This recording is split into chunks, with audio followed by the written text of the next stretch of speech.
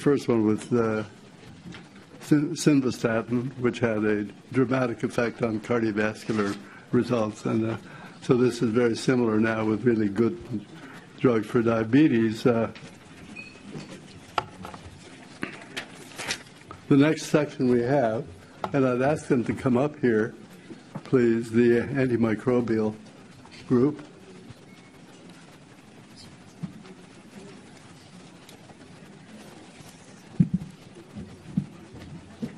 New generations of antimicrobials. Welcome. Please come in. Hi.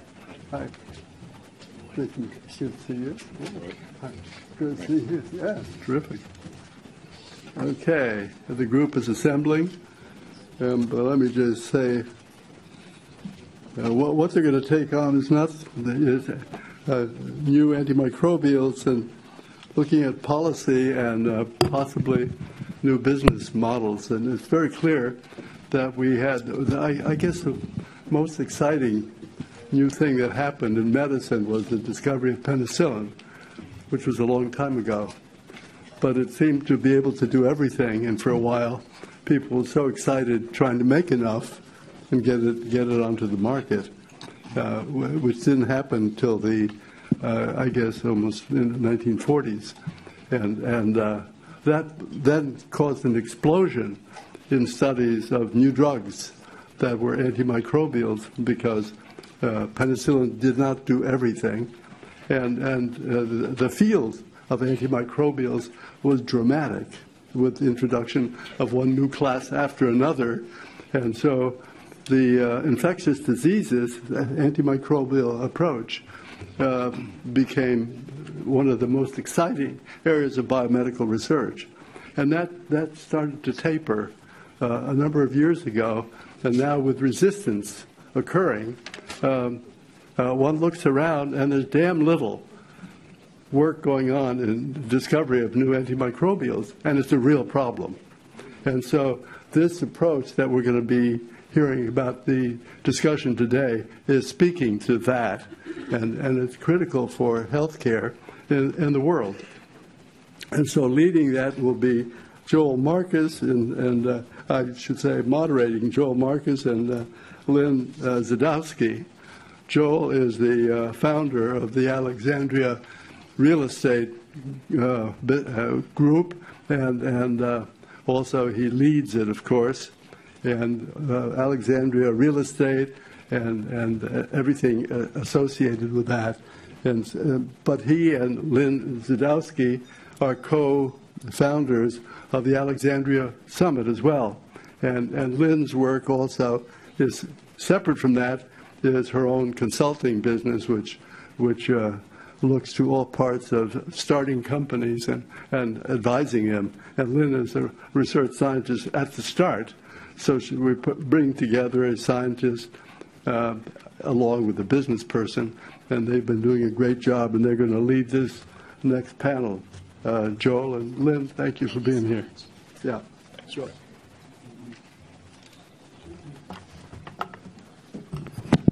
So good morning and uh, welcome everybody and uh,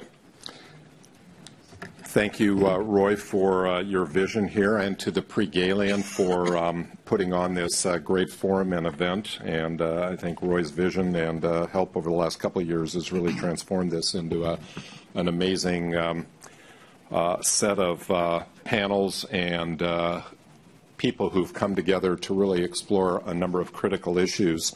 I want to also welcome you to our center. Those of you who've been here know it well. Those of you who haven't. Uh, this was a contaminated laundry uh, site about 10 years ago, and uh, we were fortunate enough to be selected by Mayor Bloomberg to transform it into what we consider to be a world-class science park in the city where you have academics, uh, you have commercial um, companies from big to small all operating here, and a number of venture capital uh, components here as well. Um, this particular topic came out of a, uh, as Roy alluded to, uh, came out of a summit that the Alexandria Summit actually uh, put together earlier in this year, where we brought together critical opinion leaders from government, from um, ac- the academic world, the commercial world, um, thought leaders, um, to really explore some of the most important elements of the whole world of anti-infection or anti-infective uh, issues and to try to explore what were the most important of those issues that we could examine and develop a game plan to take forward. And so we're going to explore some of those this morning, really as an outgrowth of the uh, of the summit. Um, to look at the big challenges in the anti-infective area, how we may be able to increase funding. As Roy said, there is uh, really a dearth of attention, and also to uh, spur innovation in this critical area and you're in for a treat. We really have some of the most important figures in this uh, in this area today to uh, help uh, explore um, and uh, try to um, really tee up the uh, the issues and where we can take this. And so, first, my co-moderator, as Roy introduced, Lynn Zydowsky is a president and co-founder with me of the Alexandria Summit. She serves as chief science advisor to Alexandria uh, and has a, a, storied career. She's a um, uh, hails from um, uh, uh Illinois, but uh, got her PhD at Ohio State and uh, is um, very involved, has been very involved over many years in starting companies, both on the West Coast and here on the East Coast and uh, really represents one of the most uh, important thought leaders uh, in this area. Um, and we're happy to have Lynn. Uh, immediately to Lynn's right is uh, Maria Freire. Many of you know Maria. Uh, she has a PhD, but more importantly, she's one of the real pioneers in this area. She's now president and executive director of the Foundation for the National Institutes of Health and uh, she has um, really been a great leader there and developed a great portfolio of innovative research and clinical programs that advance biomedical science. Uh, prior to that, she was the president of the Albert and Mary Lasker Foundation, and uh, prior to that, she served as president and chief executive officer of the Global Alliance for TB Drug Development. And so she knows an awful lot about this area and has managed to be on both sides of both the commercial side and the uh, academic and even the government side. And earlier in her career, she directed the Office of Tech Transfer of the National Institutes of Health. Uh, sitting next to her, um, we're really pleased to have Mike Bonney, who represents, I think, one of the true uh, leader, thought leaders in this area. Mike is retired CEO of uh, Cubist Pharmaceutical, which got bought by Merck. He's also on the an advisor to the UK review on anti, antimicrobial resistance. Uh, Mike really took um, Cubist from a uh, kind of a struggling startup to a uh, rather uh, significant leader in the uh, in this area, and ultimately was acquired by Merck. Smart move on their part. He was uh, involved in, was a VP of sales and marketing at Biogen before that, and previous to that worked at uh, Zeneca Pharmaceutical. He now chairs a number of boards, including Alnylam, Bates College, sits on the board of Celgene, the Global Blood Therapeutics Company, um, and a number of other important um, institutes, also the Whitehead Institute for Biomedical Research. So next to Mike is uh, Jonathan Leff. Uh, Jonathan's going to represent both uh, the investment point of view and some great insights into uh, the area of funding. Jonathan is partner of Deerfield. Um, where he focuses on venture capital and structured investments in biotech and pharmaceuticals.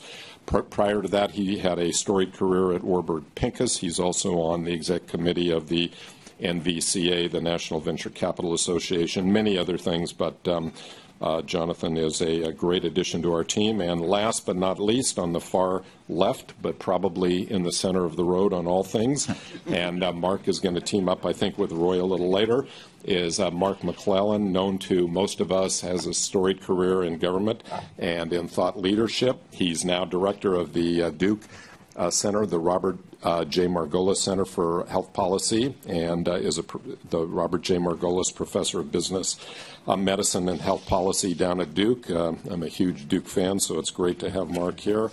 Um, the new center supports and conducts research, evaluation, and implementation on educational activities to improve health policy and health through collaboration across the Duke Health System and between public and private sectors. And as many of you know, Mark is both a doctor and an economist. He was a senior fellow at the Brookings Institute before coming to uh, Duke. And before that, he was a former administrator of uh, the Center for Medicare and Medicaid Services, better known as CMS, and former commissioner of the U.S. Food and Drug Administration, and really pioneered uh, some of the most important uh, developments um, in health reform. So we really have an all-star panel. I'm going to ask um, uh, Lynn to really set the stage um, for the panel discussion. So thank you. Thank you, Joel. I am going to make a few comments to just set up the discussion today and um, just emphasize that we want this to be a very interactive discussion, so we'll have a lot of discussion between the panelists, and then near the end, we'll go out to take questions from the audience. So today we're going to discuss the critical issues impacting the development of new anti-infectives and the initi initiatives needed to improve innovation in this field. So, as many of you know, for years, public health experts have warned it's only a matter of time before we face a superbug. And in May this year, in the United States, in Pennsylvania, they discovered a strain of E. coli that was resistant to colistin. So the threat of superbugs has become a reality. The rise in AMR, antimicrobial resistance, over the past decade has become one of the world's most pressing health issues. Infectious diseases represent three of the top 10 causes of death globally and 25% of all deaths worldwide. Each year, millions of patients acquire serious and life threatening infections, and over the next 35 years, it's estimated that 300 million people are expected to die prematurely due to growing drug resistance. Antibiotic resistance in the U.S. alone costs an estimated 20 billion a year in excess healthcare costs and represents more than 8 million additional days that people spend in the hospital. And by 2050, it's estimated that drug resistant infections could kill an additional 10 million people a year worldwide at the cost of 100 trillion in lost output. That's greater than the size of the existing world economy. But despite all this urgency of the threat, it's been more than 30 years since we've had or developed a novel class of antibiotics capable of fighting these drug resistant bacteria. AMR is a global issue. It's rising to the top of our political agenda. In 2016, in January, we saw a declaration that was signed by 80 biopharmaceutical companies and diagnostic companies on combating antimicrobial resistance. In July, the AMR review, which was commissioned by the UK in 2014, issued its final report. And in September this year, the UN signed a declaration on AMR where world leaders made a commitment to fight the rise of drug resistant pathogens and to ensure the continued access to life saving antibiotics. As we know, policy is a critical element to advancing this field and something that we'll discuss today. This is a very important year in terms of the presidential election, existing pending health care policy as well as the renewal of PDUFA 6 in 2017. Many of you last year participated in a bipartisan effort, the 21st Century Cures, which was passed in July of 2015. That House bill supported legislation for developing new drugs to treat AMR, and it builds off progress, which we'll discuss today, made with the GAIN Act, which was passed in PDUFA 5, by creating economic incentives and new regulatory pathways, helping to make it more feasible scientifically and economically to develop new antibiotics that address unmet medical needs. In the Senate, its counterpart was passed by the HELP Committee uh, in April, but it hasn't been passed by the entire Senate, and today we'll discuss where that stands in terms of becoming legislation. So while there is no simple solution, there are things we can do to encourage and support innovation. And with the distinguished panel today representing this diverse set of perspectives, we'll discuss what's needed in terms of policy and incentives to create sustainable market model with transformational commercial models that will enhance conservation that will improve financial and access related predictability and that will support the global coordination and commitment needed. So with that, I'd like to start with Maria. And Maria, you've spent your career in this field. And as Joel mentioned, you were at one time the CEO of the Global TB Alliance. Most recently, you served on the United Nations high level panel on access to medicines. Um, many of you may have seen in October there was an article in the New York Times. It talked about the scale of the TB problem in India with 2.5 million new cases in 2015. TB being a bacteria that mutates quickly into drug resistant forms. So I thought it would be good to start with you to put this in the context of a global perspective, the urgency of developing strategies to, um, to treat and to address AMR. Thank you. Thank you. And, and I'm delighted to be here this morning. I see a lot of uh, friendly faces, which is always good to have in the audience. This is a tough topic, and let's start with a very basic definition. So, antimicrobial resistance happens when bacteria, viruses, parasites, and fungi are no longer destroyed by the drugs that once could do so. So, we have now a dearth of drugs that allow us to kill these pathogens. The problem is that AMR is man made. So, going back, it's entirely man made, whether it's medical or agricultural use or misuse of antibiotics. And therefore, it's something that, that uh, we are responsible for and we're responsible to fix. Um, I want to go back to your stats, Lynn, of the uh, TB uh, problem. To, to, just give you a sense of perspective, um, this is something that I worked for many years in my life. There are 2 billion people in the world infected with tuberculosis. That's a third of the world. We carry the tuberculosis bacillus. 9.6 million people a year get sick. A million of those are children. 1.5 million people die every year of tuberculosis. That's about 3,800, 4,000 people a day. Now, of those people, we have 480,000 that have drug resistant tuberculosis, which means in multi drug resistant tuberculosis that you're resistant to two class of drugs. For tuberculosis, you need to be treated with four drugs in a cocktail and it takes between six months to two years, depending. So it's a long, long fall. Out of those 480,000, 10% have extensively drug resistant tuberculosis, which means you have resistance to the four key groups of drugs. That's essentially 40,000 people that are walking around with a death sentence. There's nothing we can do for them. And to be really, really um, worried. Of those 40,000 people, only one in every three, in every four get treated. So 75% of the people that carry extensive drug resistant tuberculosis are not being treated right now. And an XDR-TB has been found in 100 countries around the world. So it's not a problem of the global south. It is a problem of the globe. Now, why do we need a concerted effort? Well, this is not only a public health emergency. People have said, and I agree, that this is really a security emergency. So it's a national security emergency, it's a global emergency. And why do we need a concerted effort? Well, I will put to you that there are six reasons why we need a concerted global effort on this. Number one, safety. I think we don't need to belabor that point. We need to reduce the risk. Number two, governance. Who does what, when? Is it a WHO issue? Is it a national government issue? Is it a UN issue?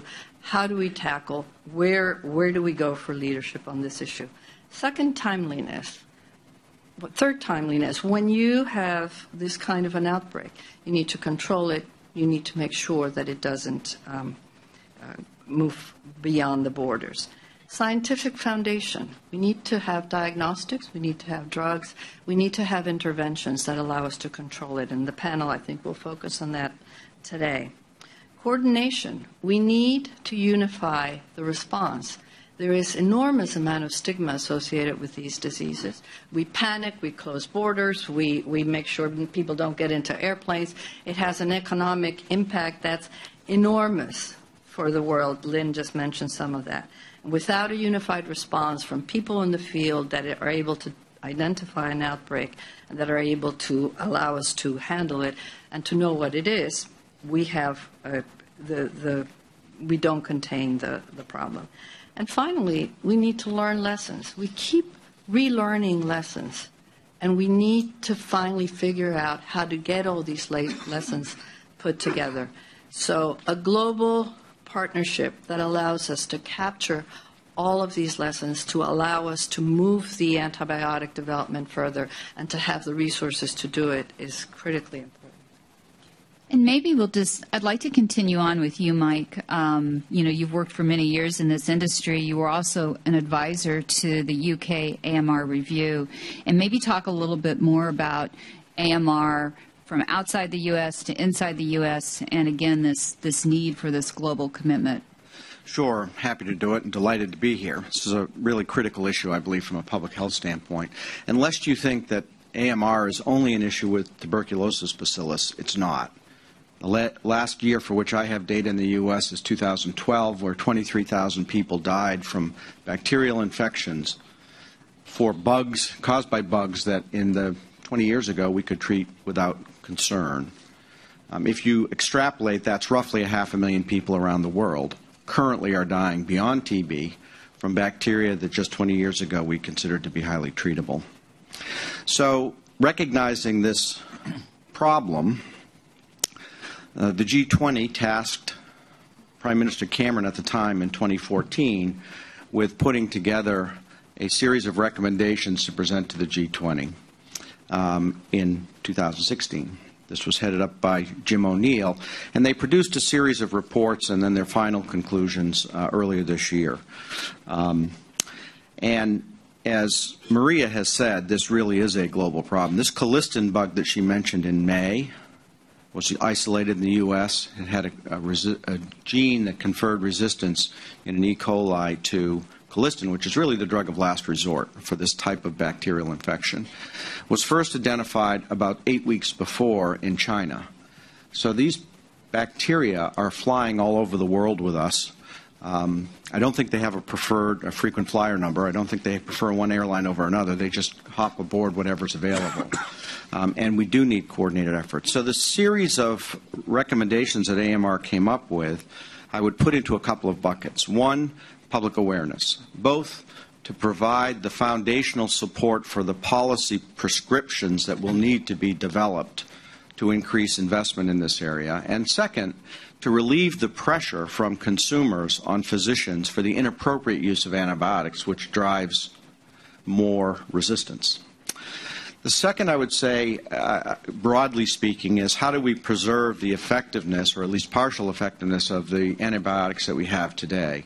And there they called for a series of act actions. One is um, global surveillance so that we can identify and track emergent resistance more clearly around the globe.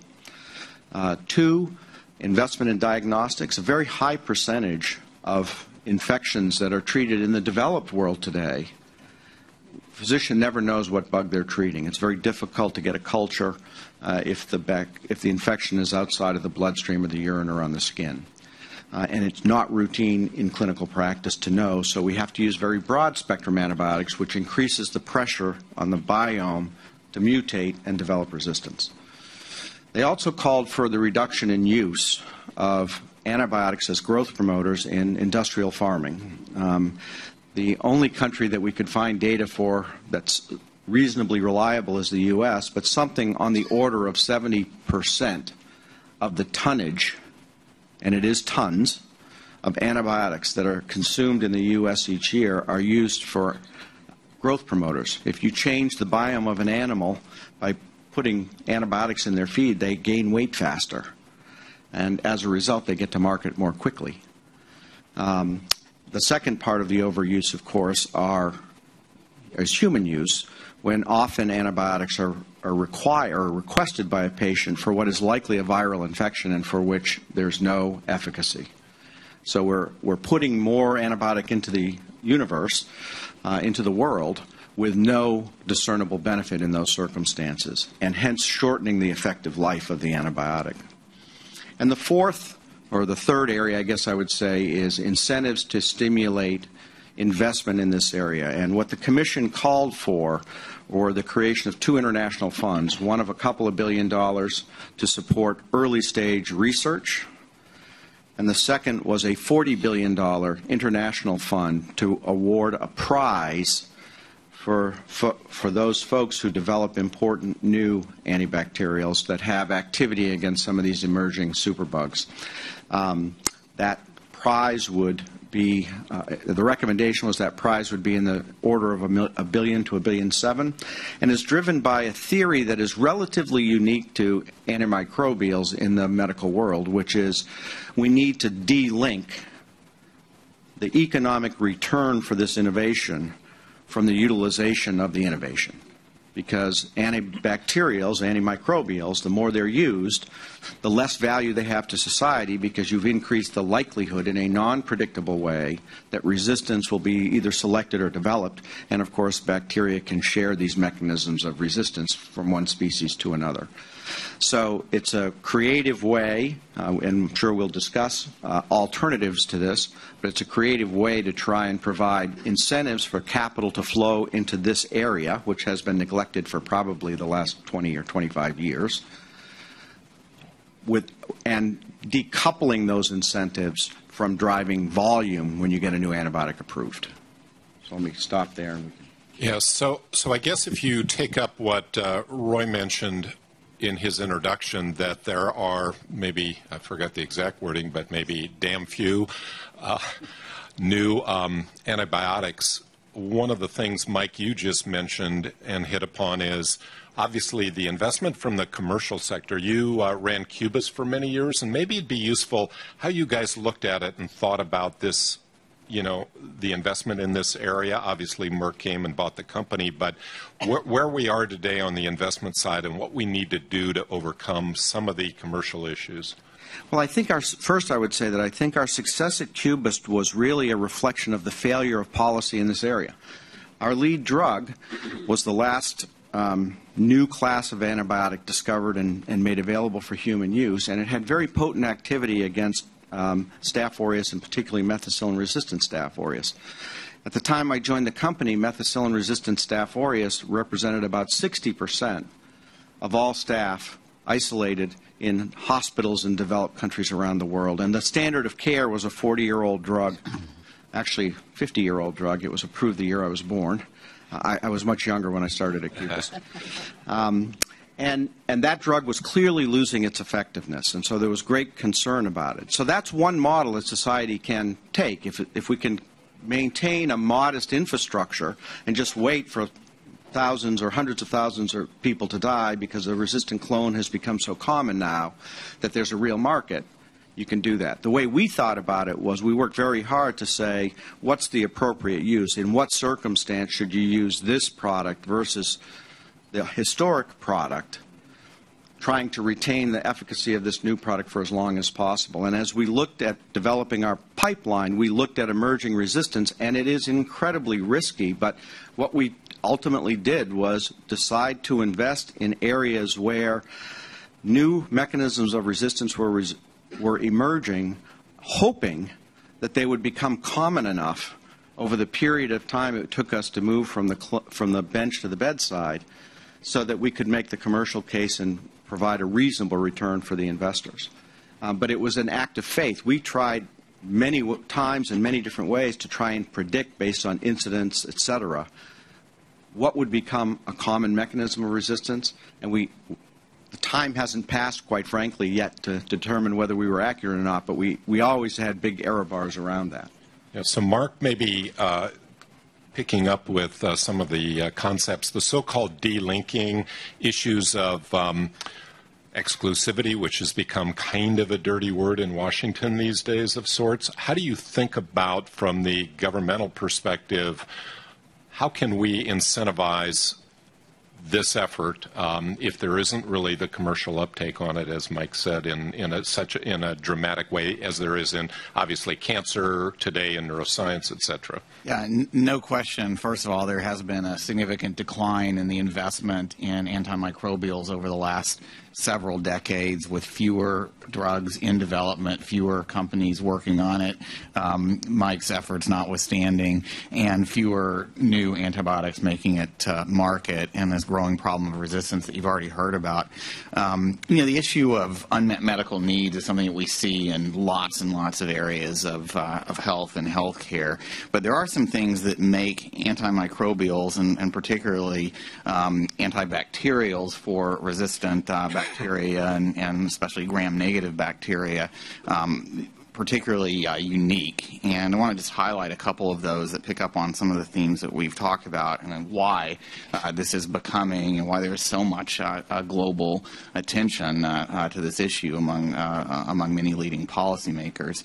Um, if you think about um, different areas of drug development, many of them are challenging. Um, cancer, Alzheimer's disease, and and unfortunately, antimicrobials is, is one of those too for some of the reasons that we've talked about. But on top of that, barrier to um, uh, an uncertainty with uh, investment. Uh, there's some real challenges with paying for the drugs once they're on the market. And if you think about what makes antimicrobials uh, kind of different in this regard, um, one is that the main benefits of having these drugs available are not the people who are being treated, important as that is to treat resistant infections, but it's to everybody else who, as a result of treating the infectious disease early, doesn't get infective. We're talking about infections here, not about chronic diseases that um, matter a lot to the individual and their family involved. These, if they're not contained, can have much bigger effects on the rest of society. And You heard from Maria earlier about some of the projections that exist of how many more people could be affected if we don't take action soon to address this problem. And second, we have a model of, of paying for drugs that's worked uh, reasonably well for getting a number of cures and better treatments to the market, which is you pay for the drug when you use it. Um, but the problem with antimicrobials, as you've already heard, is that you really want to discourage use. So think about the way that we've set up incentives for uh, developing and bringing these treatments to market. It's kind of set in a way that's exactly opposite uh, to, to, what we want. So we, uh, we, it's only usable in a, a small number of patients because, and only gets paid for in a small number of patients, not the broader uh, part of society that benefits from having the treatments available. And second, it's pay, the, the payments are on a volume basis so that uh, the encourage, they're encouraged in order to get the, the investment recapped, uh, encouraging overuse. So that's where um, the term delinkage comes from. I don't think it's been a, uh, become a bad word. I think it's, um, you know, the, the concerns here are probably about um, the challenge of getting that $4 billion fund that Mike 40. mentioned. $40 billion fund, I'm right. sorry. It's, it's, it's uh, several billion for each drug. But that $40 billion fund funded. And uh, so far, uh, there's some, you know, some a lot of interest, uh, high level attention from, uh, from the European Union and IMI, Wellcome Trust, uh, other global uh, activities. So lots of reports out there. This is part of the Davos ministerial and and, and um, industry commitments. Lots of lots of talk and lots of recognition. This is important, but it hasn't really happened yet. And I think for the, the sake of moving these efforts forward, we're going to have to find ways to uh, to try to bring down that total that total cost. And some of the ideas that, that we're working on at uh, Duke Margolis, and we have a conference coming up on this topic where I think uh, some of you are uh, in, involved in just a couple of weeks in Washington, are, are ways of not just replacing all of the the private investment and private spending that goes into antimicrobials, but, but leveraging it. So instead of trying to raise a full $40 billion fund, uh, can we aim for a, a, lower, perhaps more feasible target than that, but one that reinforces uh, some of the private investments that's occurring? For example, uh, would it be possible to, to link this uh, market reward for producing effective antimicrobial to the adoption of new payment models for it. Payment models that are based not on uh, how many times the drug is used, but maybe something like we're seeing in other areas of healthcare payment reform now.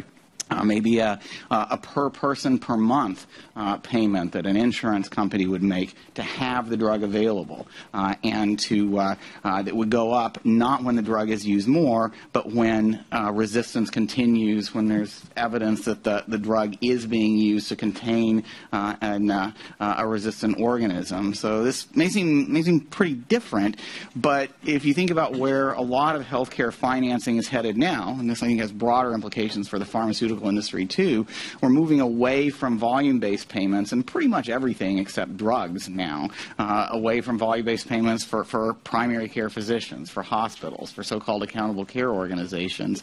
And if there is an area in pharmaceuticals where you need this kind of shift, this is it. And so I think that, that, that instead of viewing this as just something that, that the public sector needs to do by itself, raising very large amounts of money, finding ways to link up uh, public sector activity with reforming how the private markets work and private sector financing for uh, antimicrobials could be a much more promising approach.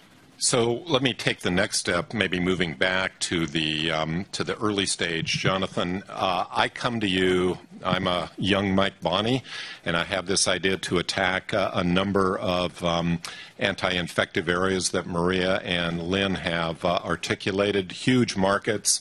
Um, I'm pretty, maybe not me, but the, the person that comes to you is very smart, very uh, insightful and articulate in this area, and uh, maybe has a chance to get some leverage with some. Uh, um, some non-dilutive funding. Are you even interested in taking a meeting, and what do you do?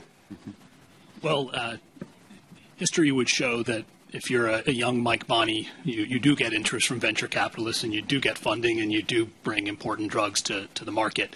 Uh, but very few others have been successful in doing that. It's the exception, not the rule, in the area of anti-infectives. Uh, and in antibiotics. So uh, maybe first, uh, just a word about the importance of that whole proposition of raising venture capital. You know, uh, if you think about how we can have a thriving ecosystem of bringing new antibiotics to the marketplace that, that treat emerging infections, it starts, of course, with scientific research and coming up with, with uh, knowledge about new mechanisms to be able to attack these new bugs in, in different ways. But then translating that from the scientific laboratory into a drug and getting it to market is where big dollars come into play. So, uh, you know, I'm sure you've all seen the statistics uh, and the various studies suggesting that the cost of developing a drug is a billion and a half dollars or two billion dollars, depending on what study you look at and how you do the math. But the numbers are very large. The probability of success is low. Something like 10% of all drugs that enter clinical trials are actually ever successful.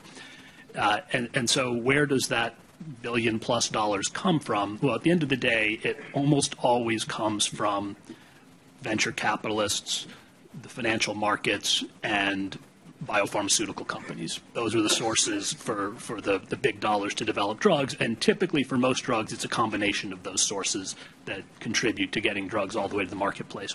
So the issues around public policy that affect the economic equation that uh, people look at when they're deciding whether to invest in new drug development or in something entirely different and then if they're going to invest in new drug development, whether it's going to be in cancer drugs or gene therapy or, or neurology or, or anti-infectives, that equation is impacted by public policy in very significant ways. At the end of the day, uh, the, the, life of a venture capitalist is fairly simple in some respects, which is you, you, you look at how much it's going to cost to develop something what the what you think the probability of being successful in doing that is going to be, how long it's going to take, and then what is the economic value of that thing if you're successful enough to have developed it, and you put all that into a relatively straightforward economic model, and you're going to invest your dollars where the returns look best, and you're not going to invest in those areas where the returns don't look good. So the challenge, so of course, that that's the simple version of it. A whole lot of texture goes into trying to figure out what assumptions to make about all those things. But the, the fundamental challenge for antibiotics has been the way that economic model looks. And it really goes back to a lot of the things that have been said already on this panel.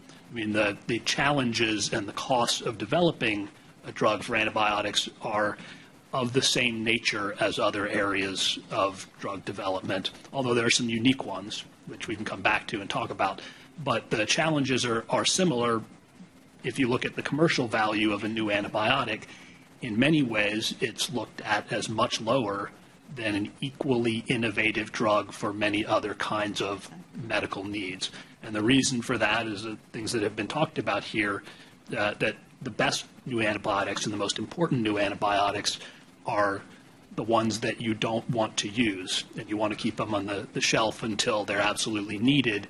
And when they're absolutely needed, hopefully that's that's rare. But those drugs, so those drugs end up being worth relatively little to the people who develop them. So, so maybe one question for Maria, and you've been there and done it. Is this better done in a startup nonprofit rather than a venture backed nonprofit? Well, I think, frankly, I want all of them to do it. that's that's the bottom line. I mean, you can't do it uh, alone. When when we were developing the TB drugs, and now there's a, a real pipeline there, we found that it was absolutely critical to have the partners in, in the private sector as well as the public sector. And I do think that there's a place for, for venture investing in this. I mean, as difficult as drugs are, and, and they are very difficult, I got to tell you, one of the biggest problems is diagnostics. One of the one of the key issues here is that, as as was said before, you're treating a viral infection with a medicine for bacteria because people want to feel they're doing something about it. And if we don't have point of care diagnostics that are sophisticated, that can be taken to the field, and that we can actually pinpoint what the problem is so we can use the right drug for it, it's a problem. So, as difficult as it is, so Joel, I'm not taking your bait. I think all of the above, uh, right. we, we need a, a global movement here. And it's not only for, for drugs, I think diagnostics is critically important. If I could just elucidate one point, Joel, that I think gets to part of the challenge, because I've been in a venture capital role for a while, and I've, I've also been advising a whole host of early stage antibacterial companies about how to get funding. Um, while it is absolutely true what Mark said about this being a unit driven pricing model, the vast majority of resistant bacteria show up first, at least in the developed world, in hospitals. And the hospital payment system around the world, true in the U.S., true in, in most developed countries, is a capitated payment system. So if you show up with a serious pneumonia, you, that gets coded, and you get, as the provider, as the hospital, you get paid X. And the drugs are subsumed within that X. And so the, the fact of the matter is it's very difficult to introduce innovation which might have a higher price even in the rare instance that you would have a resistant clone that you needed to treat this patient with, into that model because there's no room for the hospital to actually get reimbursed for the higher price drug. The, the, DRG, the payment model is built on the generic drug that's been used for the last 20 years. So it, it really creates some disincentives when you're doing the calculation that, um, uh, that Jonathan suggested here it gets very difficult. And this is where we run into problems all the time with these companies I'm advising is they'll get the, the source of capital get through the diligence on the technology and say, interesting, this might be worth investing in. And then they'll say, okay, what's our exit? Who will pay for this thing? Will anybody buy the company? And the answer to that almost universally now is no. There's nobody's going to pay for it. And if nobody will pay for it, nobody will buy it. So it's not consistent with my job trying to re- generate a return for my LPs to invest in this one when I could invest someplace else. Cancer, rare diseases, metabolic diseases, where reimbursement is more assured. If I could just add a couple of points on to that, uh, this this this uh, challenge in that of the patients who are most likely to benefit from the the new um, high priority antimicrobials being very sick patients who are in hospitals and are paid under you know, fixed DRG payments has been recognized, and there are proposals out there, like the so-called, I think it's the Disarm Act, that would automatically add on some payment. Uh, At least there's one antibiotic that made it through a process to get an add-on payment from Medicare. But, but it is, it is a pretty uncertain approach. And going back to what we were talking about earlier, a better approach might be for Medicare to have just a you know, per member per month uh, payment that goes to the uh, the drug manufacturer, so that when the drug is needed, it can be made available. And and you know, that gets back to the the delinkage point. There's one one other um, point about uh, incentives for especially the early stage startup companies. You know, we've been talking a lot about what are so-called pull incentives. You know, you, de- you develop an antibiotic that really works, and you get new kinds of payment, not just the um, you know the inadequate payments that, that aren't working uh, uh, today based on, on volume and, and DRGs.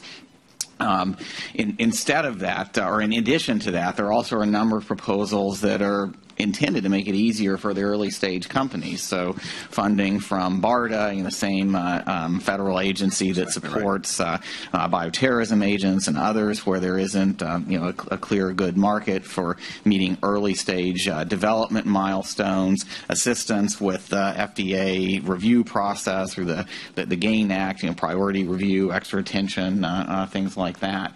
so, it really is a, a comprehensive set of um, uh, supports and incentives that are needed. And um, unfortunately, we're not we're not there yet. And maybe I want to segue now over to policy because um, you know that's such an important part of this. And I know, Mike, you know, we've talked a little bit about the GAIN Act, that you were one of the, the founders of the GAIN Act, so I, I want to mention that. I also want to talk a little bit about the new legislation that's pending. So, legislation that was passed in the House in 21st Century Cures that then went to the Senate. It was taken up by Senators uh, Bennet and Hatch. And here we are in this time of urgency, and we're seeing these colistin resistant strains. And they got their part of the bill passed by the HELP committee, but then it got caught into the markups and it never went to the floor. And I think really just to talk a little bit about where it is in the process, but how impactful these pieces of legislation can be as incentives for the development and discovery of new antibiotics. So maybe start with you, Mike, talking about GAIN, and then we'll go to, to you, Mark, and, and maybe reflect a little bit on the process and where it is today. Sure. So GAIN, uh, as as Lynne has said, was passed as a rider on the uh, PDUFA, the last PDUFA legislation uh, five years ago, four and a half years ago, that funds the FDA. And basically, what it did was it defined a series of bacteria that are particularly problematic where resistance is developing, so-called so-called QIDPs, qualified infectious disease and if you have something that works against them, you have a QIDP, which is a qualified infectious disease product. For that, it, it, uh, it encourages the FDA to, to, work with the company to define a quick path to market that's safe for patients. And it also provides relief from a, a clause of the Hatch-Waxman uh, Act that was passed in 1984 that was designed to encourage generic competition. So what happens with a new chemical entity today, or pre-GAIN, for any new chemical entity, four years after your first approval, there are incentives in place for generic companies to challenge those patents. Um, and if they're successful, a generic enters the market, et cetera. What GAIN does is for a QIDP is it doesn't allow for that four-year in and a filing. So it gives the innovator a slightly longer period of time. And our theory here was that we wanted to, um, we didn't come up with delinkage at Cubist, but we did want to relieve the pressure that you have as a commercial entity to accelerate revenue inappropriately. And so by extending, by, by protecting, if you will, a new, important new antibiotic, from this early generic entry, it relieves some of that pressure to get the return for the hundreds of millions of dollars um, that it costs to get the drug to market. Um, it did provide a little bit of a bolus when it was passed. Um, venture firms did fund a series of new companies with some new technologies. It was still a very small percentage of the total, but I think more than anything, what it did was it, it gave folks like me and folks, microbiologists, infectious disease docs who work in this space, some hope that the policymakers were getting that we had a problem here. I think, actually, that what Mark is proposing in terms of this PMPM is an elegant, elegant solution. Um, it's very, I think it'll be challenging to get it through, but it's probably more doable than the creation of a $40 billion prize fund administered by an international group of experts. And I do think, as I, as I project myself with a new technology trying to raise capital in this space, if I there's a lot of devil to be, devils to be worked out in the details here, but if I could go to the investor or the purveyor of capital and say, if this is successful, here's, we're pretty much guaranteed that we would get this kind of revenue, independent, and in fact, what it does is the incentive now of the innovator is to decrease use because your margin's bigger the less drug that you use, which is completely aligned with how an antibiotic should be used anyway. You should only use appropriate use is right patient, right time, right dose, right drug and not before that. So So I, I do want to interject here before Jonathan and Mark, and, and this is, um, you know, we're talking about U.S.-centric legislation, but clearly there is a great deal of movement uh, abroad. Certainly, we, you've spo- spoken about the U, EU experience, but let's remember that drugs are very clever. The the bugs are very clever, and so we antibiotics are going to have to be a consistent and eternal uh, enterprise. And I do think that we can't minimize the contributions that can and are being made by groups around the globe. It is an issue that affects all of them, and you have very clear um, science going on in, in places around the world. And so I just want to make sure that we're not totally U.S. centric when we look at this. There's a lot of contributions. The, the big issue, of course, is once they're developed, how do you ensure access to where they're needed? So I just wanted to interject. And just to, to pick up on that, the um, the approach that, that we were talking about, which I, I think is more of a, a U.S. piece of the solution, where we tend not to have, um, you know, some of the proposals that have, I think, significant traction in Europe and, and elsewhere in the world would actually have the, the, the government or a collection of governments buy out the, the patent rights for uh, a drug and then license it to, to be available with um, a kind of government oversight of how it's being used and so forth. Um, the challenge with that in the U.S. is that we tend not to get the government that much involved, and also we tend to get more nervous about sort of the bigger numbers that, that you need if you're totally replacing the, the private market rather than trying to, uh, to, to move it in the right direction. Uh, but I think the, you know, the, a, a program like what we were describing in the U.S. should be designed in a way that reinforces whatever the, the European or, or, or global solution is. We, we are all in this together, and uh, um, you know, no one country I think is going to be able to provide adequate uh, financial support, even the even the United States. Um, but but getting on to, to where we are today, uh, there there are some other proposals, as uh, Lynne mentioned, that are under active consideration uh, in Congress. Um, aside from you're going beyond what's in the GAIN Act, which I think Mike, mean, it's it's it's, uh, it's been an important program. There, are, you know, 50, 60 drugs that have Yep. qualified. Uh, uh, I think seven or eight maybe that have made it to, to, to the market. Five, yep. Five. Um, but if you look at so the highest priority CDC, you know, global threats and, and what we're getting, we're just still not, Not we're just not there yet. And the uh, the uh, legislation that Congress is considering now as part of 21st Century Cures includes some additional proposals. Not quite yet the, the approach that uh, uh, that we've been talking about. Hopefully that will change. But things like um, a transferable exclusivity voucher. So this would be uh, instead of just extending the patent life when a uh, manufacturer produces an antimicrobial that, that really meets one of these high priority needs, uh, they get a voucher that they could sell or apply to another drug uh, that might be uh, one that has a, a multi-billion dollar market for, for longer uh, patent exclusivity.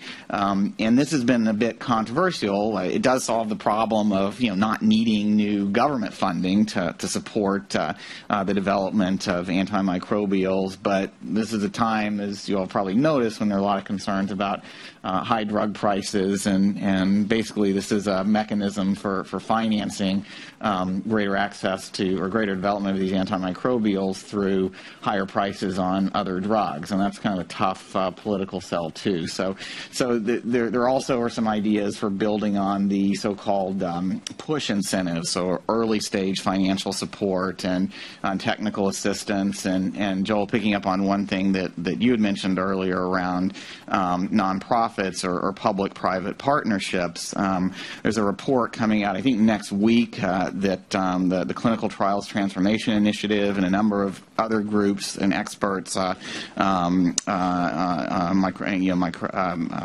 another, a number of other antimicrobial experts have been involved with on how to develop a network of clinical sites for trials, which, which, which seems like a, a good example of where partnerships could, could pre-competitive partnerships could really work. Um, not only is it hard to identify and enroll patients in these trials, um, you, you, need a large number of sites to manage, and doing that on kind of a one-off basis, uh, I think this report is going to demonstrate is much more expensive than it could be if there was something like a standard protocol or at least a, a well-established network of 80, 100 uh, hospitals or centers uh, working together uh, to enroll patients and bring down the cost of doing a trial by having uh, standard uh, pr- procedures and the like. And um, you know, another area where there's been some discussion about additional um, uh, incentives, uh, regulatory incentives, or financial support is in the development of um, uh, uh rapid diagnostics. So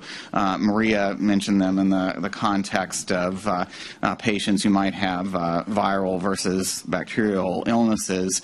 Um, they're also needed or would be very helpful for these sick patients who develop what looks like a, a bacterial or septic infection in, in, in the hospital but right now you have to wait for blood cultures two or three days, and these patients are sick enough that you need to treat with pretty broad spectrum antibiotics. It's a challenge for drug development because you try to enroll patients in the trial, and it turns out a lot of them may not end up having the uh, the um, particular um, microbe for which the new treatment is intended to uh, affect. So uh, finding ways to, to improve the diagnostics there would be very helpful. And let me just mention one more potential source of uh, financing here. Um, we do spend a significant amount of money on treatments for infections, for, for uh, microbial infections in the U.S.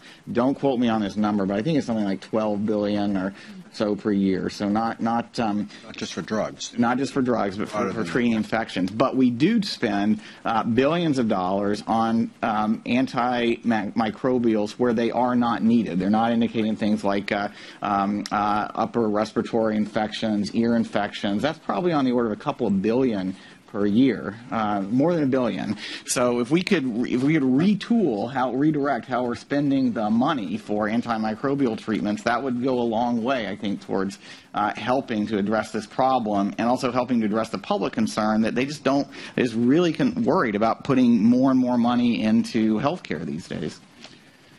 And uh, could I just touch on one additional public policy opportunity? Uh, there's been a lot of discussion of financial incentives of different kinds to, to increase the perceived value of making these investments.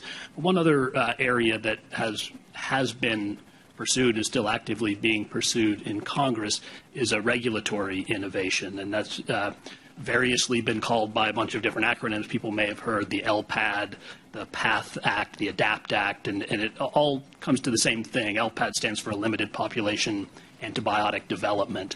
The concept is basically to empower the FDA with additional flexibility to be able to approve antibiotics that treat very limited populations, meaning patients with very resistant infections that may be quite rare but may emerge to become more common in the future to enable the development of those drugs in a, uh, in a cost effective and efficient manner and allow the labeling of those drugs and, and stewardship for those drugs to make sure that if they're only proven to work in a very limited uh, high need set of patients, that they're actually only used in that very limited high need set of patients until further studies document where else they can be useful.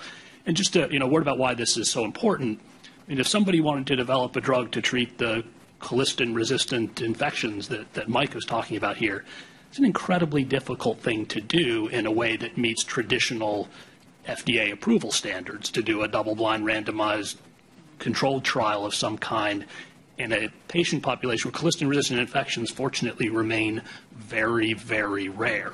When they happen, they're devastating, and there's a great fear that they could begin to happen much, much more frequently. But if you wanted to enroll patients in that clinical trial today, you'd have a very, very difficult time enrolling more than a few. And so the idea is to enable efficient development for these kinds of populations that are going to become the major, uh, major unmet needs of the future. That particular legislation was actually included in the 21st Century Cures Act that was passed by the House of Representatives. Uh, it was discussed in great depth as part of the Senate innovation package, but didn't, uh, did not make it to the floor of the Senate, or has not yet made it to the floor of the Senate. But it's still a very active area of legislative effort and one that I think deserves our attention. and one that we hope will get passed in the, the lame duck session. So with that, um, I think it would be good to open out for a few questions. And if someone has a question, if you could give your name and your affiliation. Yes. Uh, Jay Siegel, Johnson & Johnson. It's my understanding that in the vaccine space, it's my, un- Jay Siegel, Johnson & Johnson. It's my understanding that in the vaccine space, there's been some success of just guaranteed purchase programs where the, a, a purchaser, like a government body, may guarantee to a developer that should you be successful in meeting these criteria, we will buy a certain amount, and that de-risks at least the commercial risks of building the factory and doing the trials. Is there a potential role for that in, in, in this uh, broader space of antimicrobial resistance? Yeah, I mean, it's not terribly dissimilar from the prize idea, really. Um, I think that, you know, in the, there's some skepticism, I would say, within the capital markets about that. So the proof would need to be in the pudding. There'd actually need to be a demonstration that the government would fall, follow through on that. There's a classic case in biotechnology where somebody put a lot of money into developing an antidote to bioterrorism and on the basis of a promise of purchase, and it never Appropriations weren't there. the appropriations weren't there, and the company went bankrupt, and all the investors lost their money. So there's some skepticism of the capital markets, but it would work. It does delink. No. Um, it it allows the government to stockpile what is a public good, provided the attributes of the product are sufficient that it can be stored for a long time. Yeah, You know, I would just say that that kind of approach is essential in certain areas like bioterrorism and pandemic threats where there is no market today to treat anthrax, but there's a worry that somebody could use anthrax as a, as a weapon, and then you want to have those drugs available. Really, the only way that people are going to develop new drugs for those kinds of situations is if there's a, a guaranteed purchaser like the government at, at the other end of it. Now, I think you're also talking about can that model be expanded to capture other areas of the antibiotic challenge uh, other than, than bioterrorism, uh, and, I, and I think in principle it could. Right. And um, conceptually, it, it's similar to the market entry rewards that we discussed. And if that's the only or main solution, probably on the same order of magnitude in, in terms of billions that, that you need to have a, a pretty firm commitment to to uh, to make it work. And you know, I, I think there that the challenge is just you know, if, if we have forty billion dollars, great. But I would like to find a way to get there with less uh, public funding. So the advanced purchase commitments have worked, and one of the drivers of that have been, of course, the investments of groups like the Bill Melinda Gates Foundation through Gavi and, and other organizations. So that, in fact, has been proven to be successful, and there is some talk in this space to doing something like that. And a shout out to J and J because you developed the only approved um, multi-drug resistant drug in the last few years for tuberculosis. Last few decades. Nice job. Any other questions? Sure. Oh, uh, bi- oh, sorry. Oh, sorry. Uh, Mark Rodman from Columbia University. I appreciate the discussion on the panel today and teasing out two basic themes. One, the challenges of developing new new uh, new agents to be used for microbial resistance, which itself has its own challenge, and how you find funding, and and how they don't become part of the problem, not the solution. But to go back to the other part that you mentioned, that is the interest in the healthcare security agenda. Which in fact is not a national one but an international one that has had some funding through the government with the CDC. In fact, has with there are scores of countries that are part of it. So I want to go turn the question about a little bit different. There are multi parts of that health security agenda and clearly responsive to the threats of infectious diseases all over the country because these things have no borders.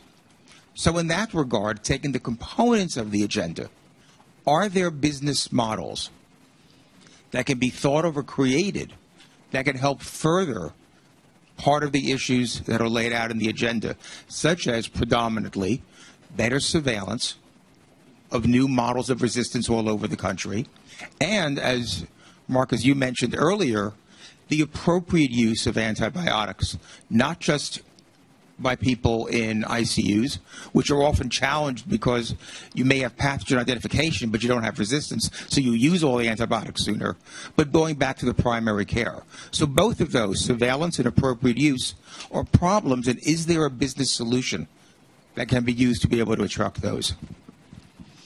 Well, certainly the AMR has called for improving our ability to surveil globally, um, uh, which is not in and of itself an insignificant resource allocation in many parts of the world where they don't have this infrastructure today. Um, there's no, no question that that would help, not just for bacterial, but in other sort of threats of, of a microbial nature that move much more quickly sometimes than resistant bacteria do, that that would be very helpful. Um, I'm not sure on the second part of it um, really how that would. I guess my orientation, and I recognize, you know, if, if your only tool is a hammer, everything looks like a nail. Uh, and I think about this in terms of how do I attract capital.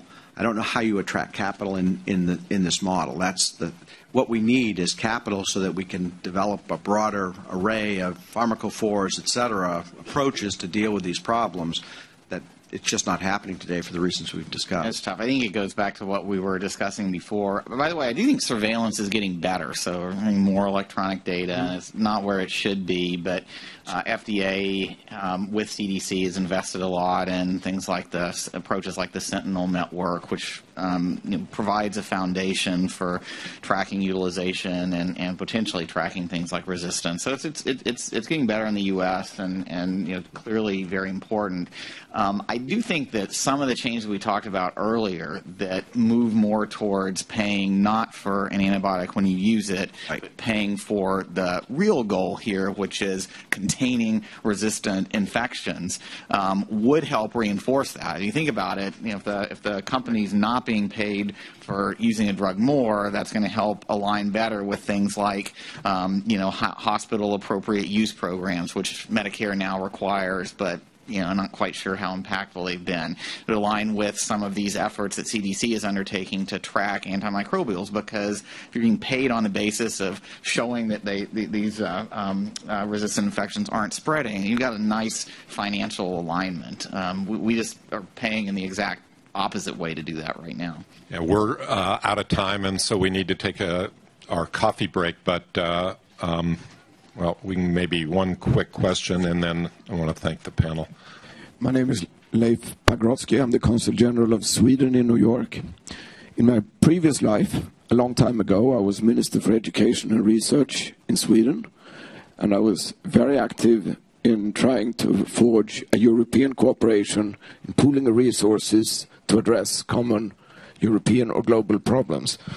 This is a truly global issue.